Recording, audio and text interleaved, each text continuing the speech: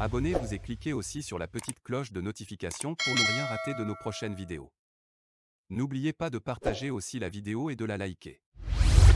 Talaka Mawama, la poursuite des journalistes Ferdinand Haïté, Joël Ega et Isidore Kouonou sur la base du droit commun se justifie. Le procureur de la République près le tribunal de Lomé vient de se prononcer pour la première fois depuis l'inculpation de trois journalistes au Togo.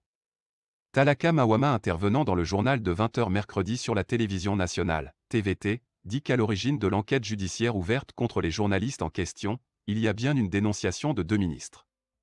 Il apporte d'autres précisions.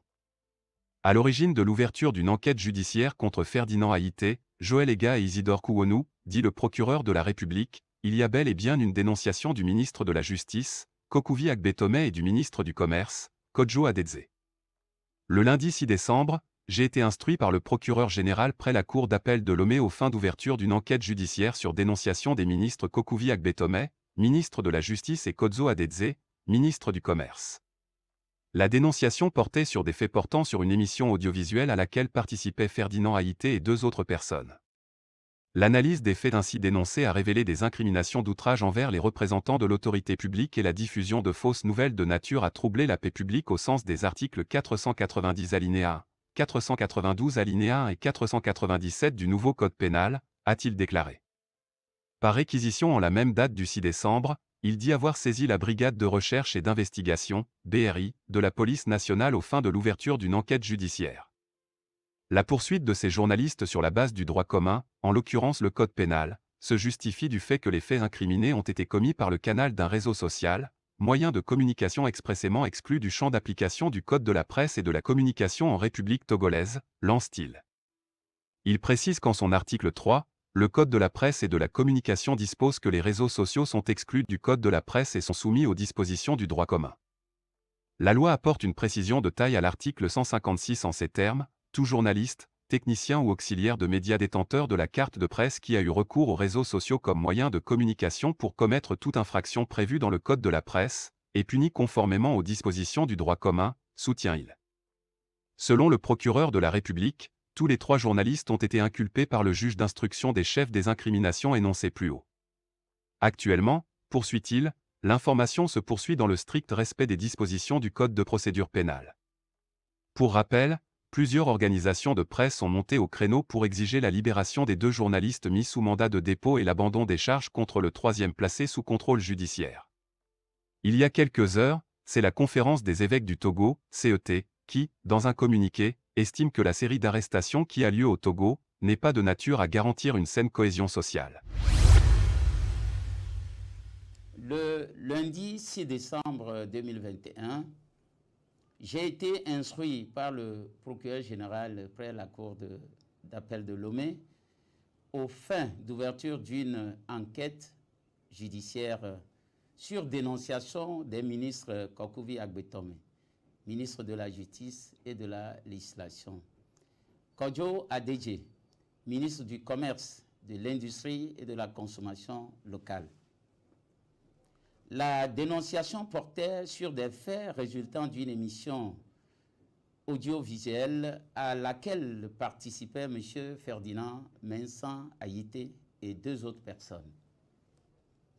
L'analyse des faits ainsi dénoncés a révélé des incriminations d'outrage envers les représentants de l'autorité publique et la diffusion de fausses nouvelles de nature à troubler la paix publique au sens des articles 490 alinéa 1, 491 alinéa 1, 492 alinéa 1 également et 497 du nouveau code pénal. Suivant réquisition en la même date du 6 décembre 2021, j'ai saisi la brigade de recherche et d'investigation de la Direction générale de la police nationale aux fins d'ouverture d'une enquête judiciaire. L'enquête ouverte a conduit à l'interpellation le jeudi 9 décembre 2021 des nommés Ferdinand Minsan Haïté, Joël Vignon, Kossi Ega et Koku Agbemeho Kouonou. Tous les trois journalistes. Une mesure de garde à vue de 48 heures a été prise à leur encontre, le temps nécessaire pour l'enquête. À l'issue de cette garde à vue, ils ont été présentés par devant le procureur de la République, ensemble avec la procédure d'enquête dont ils ont fait l'objet et des scellés constitués de pièces à conviction. À l'issue de leur interrogatoire, le procureur de la République, en raison des charges relevées à leur encontre, a immédiatement requis l'ouverture d'une information judiciaire. La poursuite de ces journalistes euh, sur la base du droit commun, en l'occurrence le code pénal, se justifie du fait que les faits incriminés ont été commis par le canal d'un réseau social, moyen de communication expressement exclu du champ d'application de la loi numéro 2020-001 du 7 janvier 2020 relative au code de la presse et de la communication en République togolaise.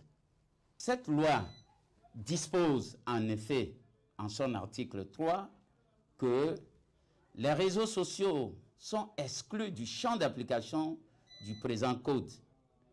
Ça veut dire le code de la presse. Lesquels réseaux sociaux sont soumis aux dispositions du droit commun. La loi apporte une précision de taille à l'article 156 en ces termes. Tout journaliste, technicien ou auxiliaire des médias, détenteur de la carte de presse qui a eu recours aux réseaux sociaux comme moyen de communication pour commettre toute infraction prévue dans euh, ce code, c'est le code de la presse, est puni conformément aux dispositions du droit commun. Tous les trois journalistes ont été inculpés par le juge d'instruction des chefs des incriminations euh, énoncées plus haut. Et actuellement, l'information se poursuit et dans le strict respect des dispositions du Code de procédure pénale il y a lieu tout de même de relever que toutes ces personnes, depuis la phase de l'enquête de police, euh, ont constitué avocats qui les assistent.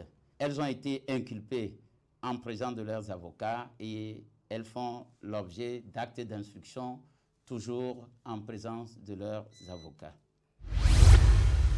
Likez la vidéo si ce n'est pas déjà fait.